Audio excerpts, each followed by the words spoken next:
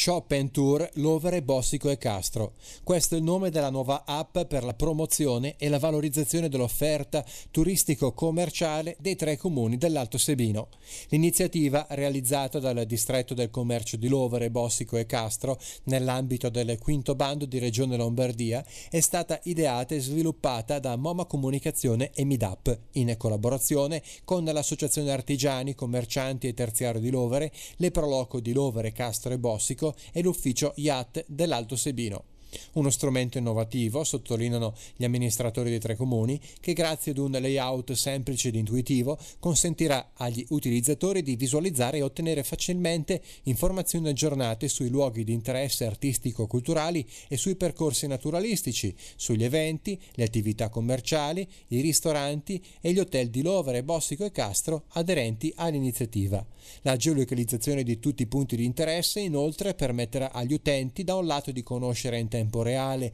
la propria posizione e raggiungere facilmente la meta desiderata tramite la funzione Portami, dall'altro di costruirsi un proprio itinerario di visita alla scoperta delle molteplici attrattive turistiche del territorio. Fra le principali caratteristiche dell'app vi sono la suddivisione dei contenuti in sei aree tematiche, la presenza di ben 24 itinerari tematici di visita, la possibilità di consultare quasi 50 schede georeferenziate con informazioni, fotografie e curiosità relative ai principali punti di interesse artistico, culturale e naturalistico di Lovere, Bossico e Castro e un'area dedicata agli eventi per permettere al fruitore dell'app di rimanere costantemente aggiornato sulle numerose manifestazioni organizzate nel corso dell'anno nei tre comuni. L'app, disponibile in italiano e a breve anche in lingua inglese, è scaricabile gratuitamente da Google Play Store, dall'Apple Store e tutti i contenuti sono fruibili in modalità offline,